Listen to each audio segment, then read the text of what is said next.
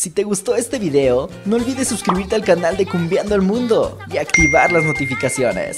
Subimos videos todos los días. Y recuerda que estamos cumbiando el mundo.